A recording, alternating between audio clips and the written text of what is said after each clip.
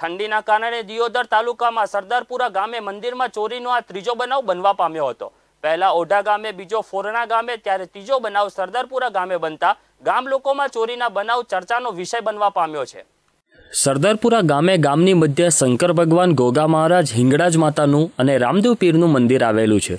આ જગ્યા આજુબાજુના ગામો માટે ધાર્મિક દ્રષ્ટિએ ખૂબ જ શ્રદ્ધા અને આસ્થાનું કેન્દ્ર ગણાય છે. ત્યારે સરદારપુરા રવેલ ગામે વહેલી સવારે પૂજારી મંદિરની પૂજા કરવા જતા શંકર ભગવાનના મંદિરના તાળા તૂટેલા જોવા મળ્યા અને આગળ ગોગા મહારાજના મંદિરની દાનપેટી તૂટેલી જોવા મળતા ગામ લોકોને એકઠા કર્યા હતા.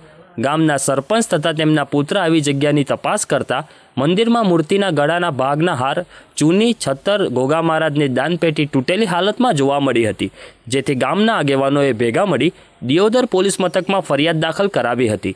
જેમાં ગોગા મહારાજના સોનાના છત્તર નંગ પાંચ કિંમત, એક તોલાની જેની કિંમત પંચોતેર હજાર, ચાંદીના છત્તર નંગ એકસો ત્રીસ, દસ ગ્રામની કિંમત પચીસ હજાર, હિંગળાજ માતાજીની નથ એક પાંચ ગ્રામ સોનાની કિંમત દસ હજાર, ગોગા મહારાજના દાનપેટીમાં અંદાજે એંસી હજારની કુલ એક લાખ નેવું હજારની કિંમતની ચોરી થઈ હોવાનું દિયોદર પોલીસ મથકમાં ફરિયાદ કરતા દિયોદર પોલીસે ચોરીવાળી જગ્યાએ તપાસના ચક્રો ગતિમાન કર્યા છે. જગદીશ પઢિયાર સાથે રાજ ગજ્જર લાઈવ ગુજરાત ન્યૂઝ, બનાસકાંઠા.